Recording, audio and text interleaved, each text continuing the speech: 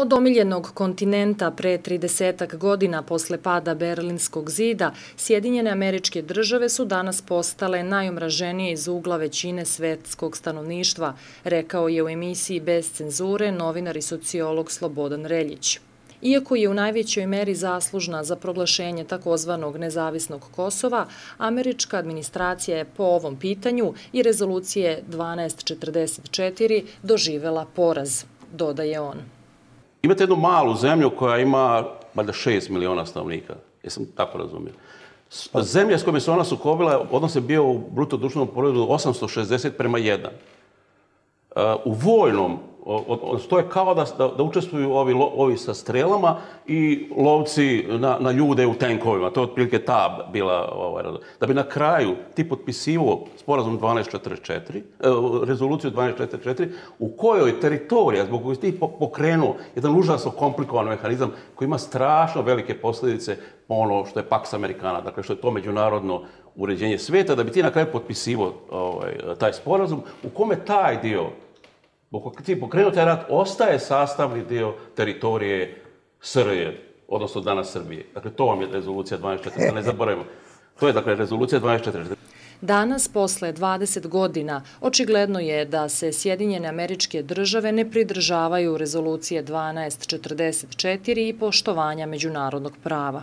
Kako, su oni uspo, kako, je pot, kako je ta rezolucija usvojena, tako su oni krenuli da ruše tu rezoluciju. I onda imate, el pazite, ali šta je uspjeh najmoćnije sile na svijetu? Ona sad više ne, nije, nije jedina, kao što znate, sila. To je sad sila koja mora sad da, da sa drugima usaglašava šta će da radi sa rezolucijom 24. Ali u trenutku kad oni krenu da to ruše, oni su jedina sila na svijetu. Njihov uspjeh, uspjeh je taj da posle 20 godina i posle neopisanog uticaja u postavljanje unutrašnjih sistema u ovoj zemlji i dovođenje elita koje treba da sprovedu u to rezoluciju. Ovo što je on nabrao, to vam su vam praktično unutrašnje elite koje su preparirane, onda izvode to za potrebe uh, tog hegemona svjetskog. Ovaj, ovaj, ovaj. vi imate E, imate našeg predsjednika koji je sad govorio to, o, o tom rezoluciji 1244, dakle on je prvo u javnoj raspravi u, u, u, u čitavoj zemlji koja je bila, dakle nije dobio podršku da poništi rezoluciju 1244 i da preda Kosovo.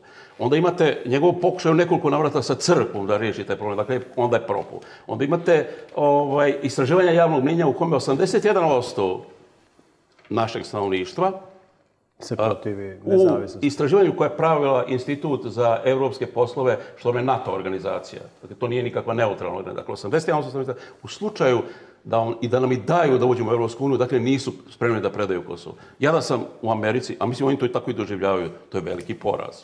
Najveći uspeh koji su Sjedinjene američke države postigle 20 godina posle bombardovanja Savezne republike Jugoslavije je da na kraju pronađu nekoga u Srbiji ko će pod pritiskom priznati nezavisnost Kosova.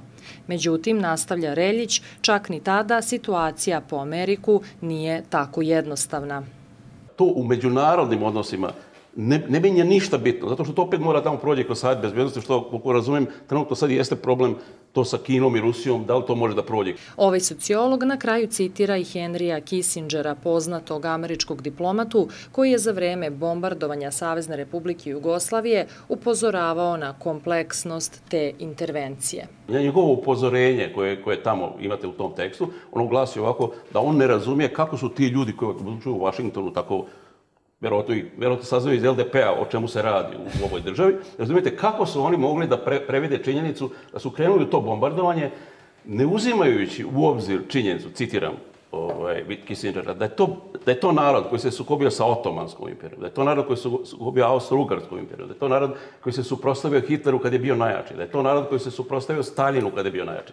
I da oni krenu u operaciju, ratnu operaciju, tako moćnu, bombardovanja, bez plana o kopnenoj intervenciji. Ta velika sila, vjerojatno najveća koncentrisana sila u istoriji čovječanstva, nije imala plan za kopnenu intervenciju sem ovi iz OVK koji su sad ovaj, vlast tamo, nije imala plan za kopnenu intervenciju na jedan tako mali narod i jedno tako malo državu. E to vam govori Dakle, to je metiljavost jedne sile. To nema nikakve pobjede. Kad se Amerikanac razumije da je to veliki poraz. NATO alijansa je 24. marta 1999. godine bez dozvole Saveta bezbednosti naletom 464 aviona započela bombardovanje Savezne republike Jugoslavije.